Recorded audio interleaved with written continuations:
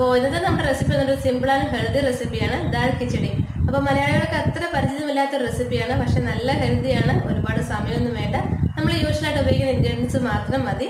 മെയിനായിട്ട് റൈസ് വേണം പിന്നെ പരിപ്പ് വേണം പിന്നെ കുറച്ച് കുറച്ച് കുഞ്ഞു കുഞ്ഞു ഇൻഗ്രീഡിയൻസ് മാത്രമേ ഉള്ളൂ.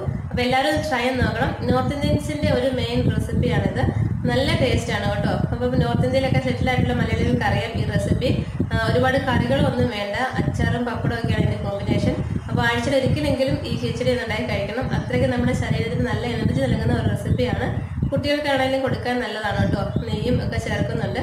അപ്പോൾ ട്രൈ നോക്കണം. റെസിപ്പി ഇഷ്ടമായെങ്കിൽ നിങ്ങളുടെ അഭിപ്രായം അറിയിക്കണം. പിന്നെ ആദ്യമായിട്ട് ആരെങ്കിലും നമ്മുടെ ചാനൽ കാണുന്നുണ്ടെങ്കിൽ ചാനൽ സബ്സ്ക്രൈബ് ചെയ്യാനും നിങ്ങൾക്ക് റെസിപ്പീസ് ഒക്കെ ഇഷ്ടമാണെങ്കിൽ ലൈക്ക് ചെയ്യാനും ഫാമിലി ഫ്രണ്ട്സൊക്കെ ആയിട്ട് ഷെയർ ചെയ്യാനും മറക്കരുത്. അപ്പോൾ എല്ലാവരും വീട്ടിൽ സേഫ് ആണെന്ന് വിശ്വസിക്കുന്നു. അപ്പോൾ സ്റ്റേ ഹെൽത്തി അപ്പോൾ നമുക്ക് വേഗം നമ്മുടെ റെസിപ്പിയിലേക്ക് പോകാം. എടുത്തു വെച്ചേക്കുന്ന പാത്രത്തിലേക്ക് നമുക്ക് ഒരു കപ്പ് അരി ചേർത്ത് കൊടുക്കാം. അപ്പോൾ വീട്ടിലുള്ള കുക്കിംഗ് റൈസ് ഏതായാലും മതിയാവും. ഞാനിവിടെ ടു ഫോർട്ടി എം എല്ലിന്റെ ഒരു കപ്പ് അരിയാണ് ചേർത്ത് കൊടുത്തേക്കുന്നത് ഏകദേശം ഒരു പതിനാറ് ടേബിൾ സ്പൂൺ വരും. പിന്നെ വേണ്ടത് മസൂർ ദാലാണ്. ഇവിടെ വൺ ട്വന്റി എം എല്ലിന്റെ ഒരു കപ്പ് മസൂർ ദാൽ എടുത്തിട്ടുണ്ട്. മസൂർ ദാൽ ഇല്ലാന്നുണ്ടെങ്കിൽ വീട്ടിലുള്ള തുവരപ്പരിപ്പ് ആയാലും മതിയാവും. പിന്നെ വേണ്ടത് മൂങ് ദാലാണ് അതും ഒരു കപ്പ് എടുത്തിട്ടുണ്ട്. അപ്പം മൂങ് ദാൽ ഇല്ലാന്നുണ്ടെങ്കിൽ ചെറുപയർ വീട്ടിൽ കറി വെക്കണ ചെറുപയർ ഉണ്ടല്ലോ ചെറുപയർ എടുത്താലും മതിയാവും. ഇനി നമുക്കിതെല്ലാം നന്നായിട്ട് ഒന്ന് വാഷ് ചെയ്തെടുക്കണം. പിന്നെ വേണമെങ്കിൽ കുട്ടികൾക്ക് കൊടുക്കുമ്പോൾ ഇതിലേക്ക് നിങ്ങൾക്ക് ഇഷ്ടമുള്ള പൾസസ് ഏത് വേണമെങ്കിലും ചേർത്ത് കൊടുക്കാം. കുറച്ചുകൂടെ ഹെൽത്തിയാണ് കേട്ടോ. നമുക്ക് നന്നായിട്ട് ഒന്ന് വാഷ് ചെയ്തെടുക്കാം. ആ വെള്ളം ഒന്ന് ക്ലിയർ ആവുന്നവരെ ഒരു മൂന്ന് നാല് വട്ടം നമുക്കൊന്ന് കഴുകിയെടുക്കാം. അപ്പം നമ്മൾ ഈ കിച്ചടി തയ്യാറാക്കുന്നത് കുക്കറിലാണ്. അപ്പോൾ കുക്കർ ഒന്ന് ചൂടായിട്ട് വന്നിട്ടുണ്ട്. നമുക്കിതിലേക്ക് ഒരു മൂന്ന് ടേബിൾ സ്പൂൺ നെയ്യ് ചേർത്ത് കൊടുക്കാം. അപ്പോൾ നെയ്യുടെ ടേസ്റ്റ് ഇഷ്ടമില്ലാത്തവർക്ക് നിങ്ങൾക്ക് ഇഷ്ടമുള്ള ഓയിൽ ഏതായാലും ചേർത്ത് കൊടുക്കാം. അപ്പോൾ നെയ്യ് ഒന്ന് ചൂടായിട്ട് വന്നിട്ടുണ്ട്. നമുക്കിതിലേക്ക് ഒരു ടേബിൾ സ്പൂൺ ജീരകം ചേർത്ത് കൊടുക്കാം. നല്ല ജീരകമാണ്. കൂടെ തന്നെ ഒരു ബേ ലീഫ് കൂടെ ചേർത്ത് കൊടുക്കാം.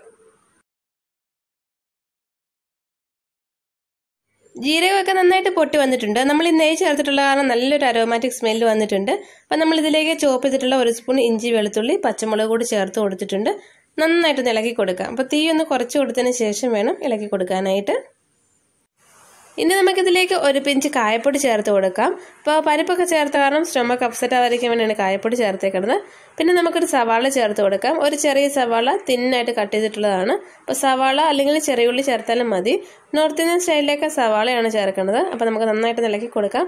സവാള ഒരുപാട് ഫ്രൈ ഒന്നും ആയിട്ട് വരണ്ട. ജസ്റ്റ് ഒന്ന് വാടി വന്നാൽ മതി. നന്നായിട്ട് നിലക്കി കൊടുക്കാം. ഇനി നമുക്കിതിലേക്ക് ചെറുതായിട്ട് കട്ട് ചെയ്തിട്ടുള്ള ഒരു തക്കാളി കൂടി ചേർത്ത് കൊടുത്ത് നന്നായിട്ട് നിലക്കി കൊടുക്കാം. വഴന്നു വരാൻ ആവശ്യത്തിന് ഒരു സ്പൂൺ ഉപ്പ് കൂടി ചേർത്ത് കൊടുക്കുക. പിന്നെ നെയ്യ് കുറവാണെങ്കിൽ ഈ സമയത്ത് ഒരു സ്പൂൺ നെയ്യ് കൂടി ചേർത്ത് കൊടുക്കാവുന്നതാണ്. നമ്മളിവിടെ മൂന്ന് ടേബിൾ സ്പൂൺ നെയ്യ് ചേർത്ത് കൊടുത്തിട്ടുണ്ട്. ഒരു സ്പൂൺ മഞ്ഞൾപ്പൊടി ചേർത്ത് കൊടുക്കാം. കൂടെ തന്നെ ഒരു ചെറിയ സ്പൂൺ മുളക് പൊടി കൂടി ചേർത്ത് കൊടുക്കാം. അപ്പോൾ ആക്ച്വലി കിച്ചടിക്ക് ഒരു മഞ്ഞ കളറാണ് വേണ്ടത്. അപ്പോൾ മഞ്ഞൾപ്പൊടിയാണ് കൂടുതൽ വേണ്ടത് കേട്ടോ. നമുക്ക് നന്നായിട്ട് ഇളക്കി ഒരു പച്ച സ്മെല്ലങ്ങ് മാറ്റിയെടുക്കാം. ഇച്ചിരി കറിവേപ്പില കൂടി ചേർത്ത് കൊടുക്കാം. പൊടികളുടെ പച്ച സ്മെല്ലൊക്കെ അങ്ങ് മാറി വന്നിട്ടുണ്ട്. ഇനി നമുക്കിതിലേക്ക് വെള്ളം ചേർത്ത് കൊടുക്കാം. അപ്പോൾ വെള്ളത്തിന്റെ അളവെന്ന് പറയുന്നത് ഞാനിവിടെ അരിയുടെ മുകളിലായിട്ട് വെള്ളം നിൽക്കണം അത്രേ വേണ്ടുള്ളൂ. കറക്റ്റ് കണക്ക് പറയുകയാണെങ്കിൽ ഒരു ഗ്ലാസ് അരിക്ക് ഒരു മൂന്ന് ഗ്ലാസ് വെള്ളം നല്ല കണക്കിലാണ് ഞാൻ കുക്കറിൽ ചോറ് വയ്ക്കാറുള്ളത് നമുക്ക് നന്നായിട്ട് നിലക്കി കൊടുക്കാം. അപ്പോൾ അരിയുടെ കുറച്ച് മുകളിലായിട്ട് നിൽക്കണം വെള്ളം അത്രേ ഉള്ളൂ. അപ്പോൾ വെള്ളം നന്നായിട്ടൊന്ന് തിളച്ച് വരട്ടെ. ആവശ്യത്തിന് ഉപ്പ് കൂടി ചേർത്ത് കൊടുക്കാം. അപ്പം നമ്മൾ അരിയൊക്കെ ചേർക്കണതിന് മുന്നേ വേണം ഉപ്പ് ചേർത്ത് കൊടുക്കാനായിട്ട്. നന്നായിട്ട് ഇളക്കി കൊടുക്കാം. ഇപ്പോൾ വെള്ളം നന്നായിട്ട് തിളച്ചു വന്നിട്ടുണ്ട്. നമുക്കിതിലേക്ക് റൈസും പരിപ്പൊക്കെ ചേർത്ത് കൊടുക്കാം. അതിനുശേഷം നമുക്കൊരു മൂന്ന് വിസിൽ കൊടുക്കണം. അപ്പോൾ ഓരോരുത്തരുടെയും റൈസിന്റെ വെവ് ഡിഫറെന്റ് ആണ്. അപ്പോൾ ഞാനിവിടെ മൂന്ന് വിസിലാണ് കൊടുക്കുന്നത്. അരിയുടെ വെവ് അനുസരിച്ച് വേണം വിസിൽ കൊടുക്കാനായിട്ട്. ഞാൻ സിം ഫയറിലാണ് മൂന്ന് വിസിൽ കൊടുത്തത്. ഇപ്പോൾ സ്റ്റീം നന്നായിട്ട് പോയിട്ടുണ്ട്. അപ്പോൾ നമുക്ക് കുക്കർ ഒന്ന് തുറന്നു നോക്കാം. ഇപ്പം നമ്മുടെ ദാൽ കിച്ചടി റെഡി ആയിട്ടുണ്ട്. അപ്പം നല്ല ചൂടാണ്. കുറച്ചൊന്ന് ചൂട് പോയി കഴിയുമ്പോൾ നല്ല തിക്കായിട്ട് തന്നെ വരും. അപ്പോൾ ഈ ചൂടോടെ കഴിക്കുമ്പോൾ നല്ല ടേസ്റ്റാണ് കേട്ടോ. അപ്പം നമുക്ക് വേഗം തന്നെ ഒരു പാത്രത്തിലേക്ക് മാറ്റാം. മുകളിലായിട്ട് നമുക്ക് കുറച്ച് കറിവേപ്പില ഒന്ന് വിതറി കൊടുക്കാം. ആക്ച്വലി ഈ റെസിപ്പിയിൽ മല്ലിയിലയാണ് വേണ്ടത്. മല്ലിയില കിട്ടാനില്ലാത്തതുകൊണ്ടാണ് ഞാൻ കറിവേപ്പില ചേർത്ത് കൊടുത്തത് കേട്ടോ. അപ്പോൾ ഇന്നത്തെ നമ്മുടെ ദാൽ കിച്ചടി റെസിപ്പി നിങ്ങൾക്ക് എല്ലാവർക്കും ഇഷ്ടമായെന്ന് വിശ്വസിക്കുന്നു. വളരെ എളുപ്പത്തിൽ ഉണ്ടാക്കാൻ പറ്റുന്ന ഹെൽത്തി റെസിപ്പിയാണ്. ഈ ഒരു റെസിപ്പി ഉണ്ടാക്കാൻ വേണ്ടി ഒന്നും തന്നെ നിങ്ങൾക്ക് പുറത്തുനിന്ന് വാങ്ങേണ്ടതില്ല. വീട്ടിൽ എപ്പോഴും യൂഷ്വൽ ആയിട്ടുള്ള ചേരുവകൾ മാത്രം മതി.